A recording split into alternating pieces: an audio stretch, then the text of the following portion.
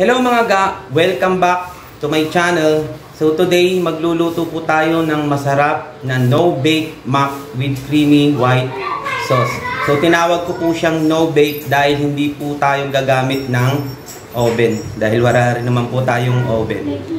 So bago yan, ah, kung bago lang kayo sa channel ko, please pakisubscribe naman. Pakipindot na rin po nung bell notification and paki-like and share na po.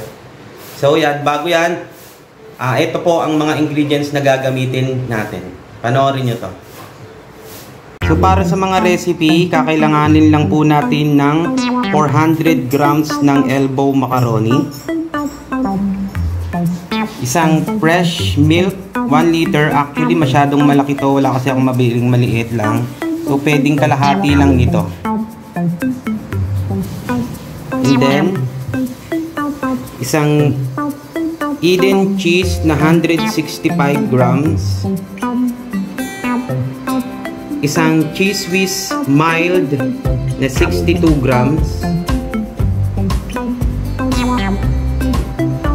Isang sweet style spaghetti. So, pwede rin kayong gumamit ng tomato paste or tomato sauce. So, gagamit tayo nito para medyo may konting tamis. Kasi yun naman ang gusto ng mga bata, yung medyo matatamis.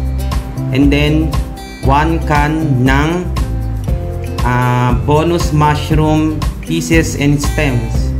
Uh, 425 grams.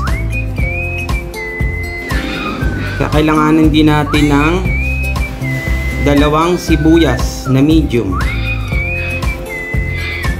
4 cloves of garlic, pepper, black pepper, and salt. At isang Del Monte tomato paste na 150 grams. So tomato paste yung ginagamit ko kasi mas malapot siya kumpara sa tomato sauce. So mas maganda yung magiging sabaw niyang pinakaginiling natin. At kakailanganin din natin ng half a kilo ng uh, giniling or ground pork. So yun guys, bubuksan natin yung kalan. So medium heat lang natin.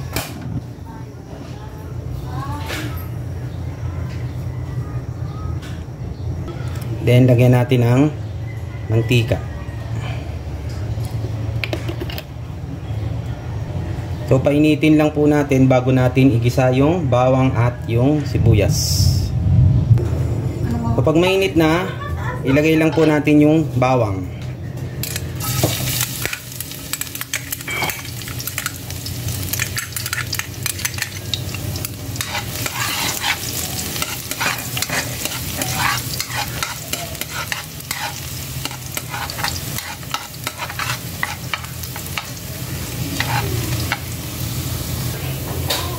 So pag medyo brown na siya, sunod natin yung sibuyas. Halu-haluin lang po natin. Yan, medyo nagsusunog na yung bawang natin.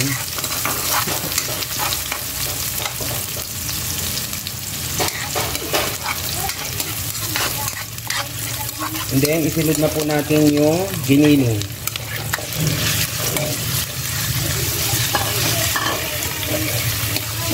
Gumagalaw, gumagalaw.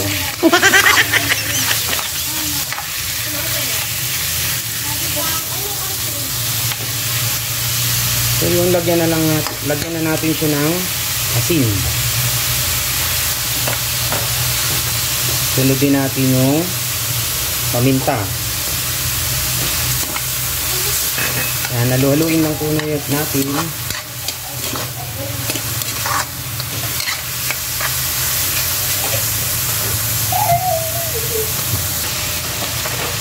So yan, nagmamantika na yung giniling natin. So pag nagmamantika na siya, ilagay na po natin yung tomato paste na 150 grams. So nasa inyo kung gusto nyong ubusin or ayaw nyo ng sobrang asin. Pero tayo ubusin natin lang.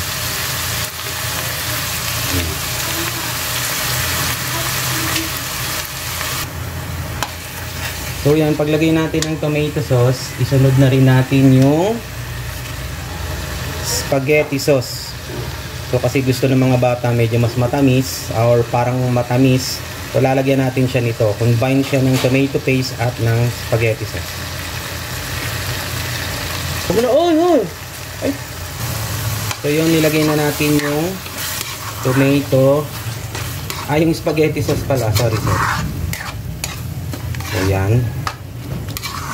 So kung medyo malapot siya, pwede natin dagdagan ng konting tubig. Pero wag nyo naman palalabnawin ng gusto. Konti lang po. Yan. So, mas masarap kasi sa bake mac yung malapot talaga siya.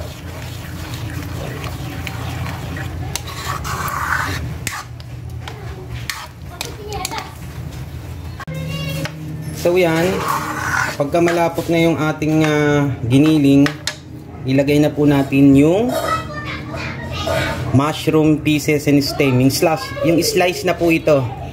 So, pwede rin kayong gumamit ng jolly or kahit na anong mushroom na slice.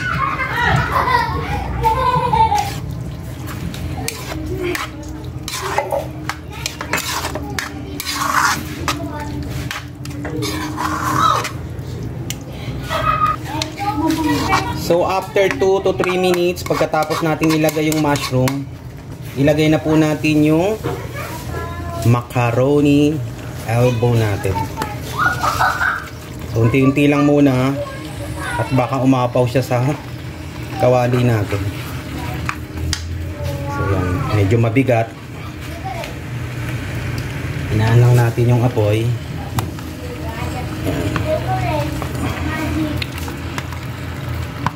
So, medyo nagdikit-dikit na siya.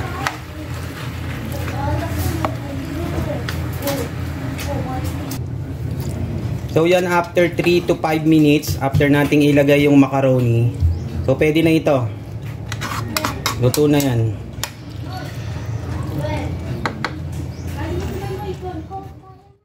So ngayon gagawa naman tayo ng white sauce. Buksan uli natin yung kalan sa medium heat lang.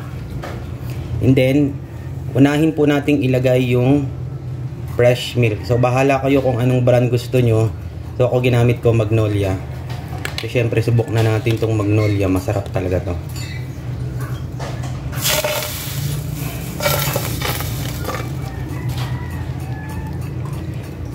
So, nasa inyo kung gusto nyong ubusin lahat to, no? Kung medyo uh, mas gusto nyong mas marami yung white sauce, pwede nyo namang ubusin. So ako kalahati lang yung gagamitin ko kasi masyadong malaki to.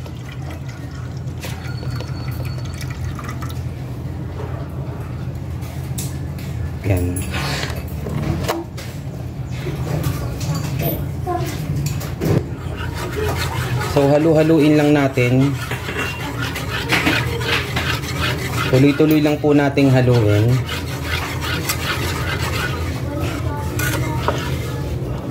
Yan, so pag medyo umuusok na siya, lalagyan lang po natin ng 1 teaspoon ng cornstarch. So para po lumapot yung pinaka white sauce natin.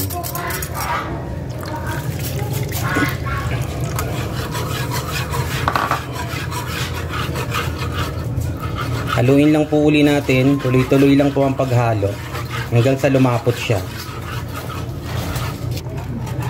So, isunod na po natin yung cheese Swiss mild.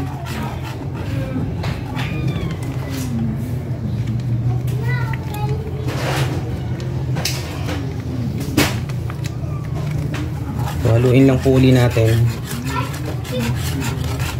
Then, lagyan natin ng paminta. Then, ng konting asin.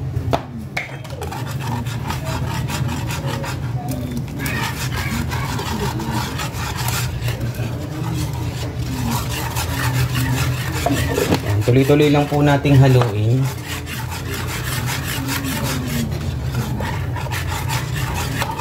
Kapag malapot na yung white sauce natin, ilagay na natin yung Eden cheese. Ayan. Para mas uh, maging makrimi siya at maging mas masarap yung lasa ng magiging white sauce natin. Ayan. Tuloy lang po natin yung paghalo hanggang sa matunaw yung Eden cheese natin.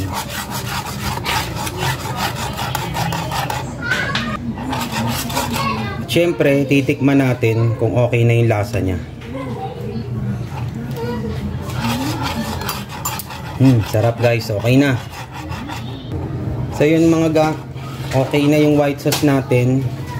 Yan, yung lapot niya, okay na. So itatabi na natin to. At uh, i-assemble na natin doon sa loob. So ayan guys, eto na siya, ready na siya lahat. So ngayon, i-assemble na natin. Yan, dito sa isang canister or plastic container. So una, kukuha lang tayo ng spaghetti natin. Or yung pinaka macaroni pala natin, sorry. Sanay kasi ako sa spaghetti pag ganito. So yan, ikakalat lang natin. Yan.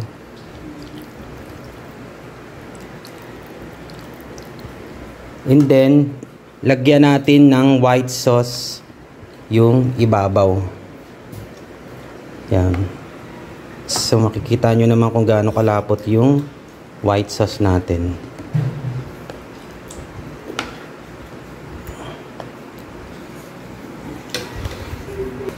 So yan guys, pag na-cover na ng white sauce natin yung unang layer ng macaroni, ulitin lang po uli natin.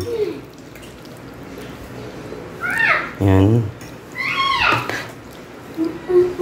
Ikalat lang po uli natin.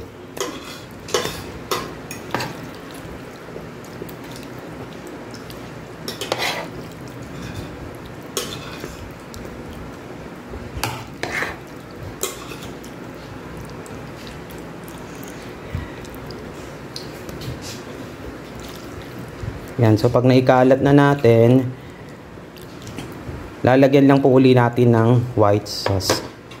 So mga ga, sa mga gustong mag-business, patok din po ito. So pwede kayong gumamit ng uh, mas maliit na canister dito kasi medyo malaki itong ginamit ko.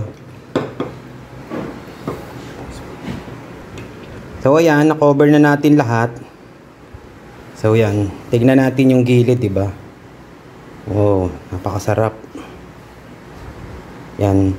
So after nyan, lalagyan natin siya ng cheese sa ibabaw. So para mas mas mukha siyang maging mas masarap.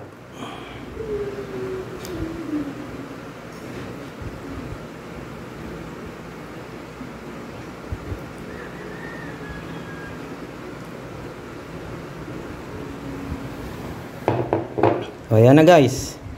Ito na yung ating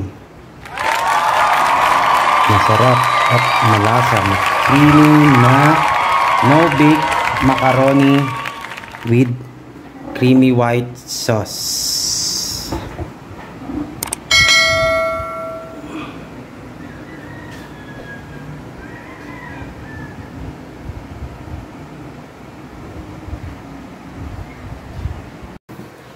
So yun mga ga, sana nagustuhan nyo yung niluto natin today.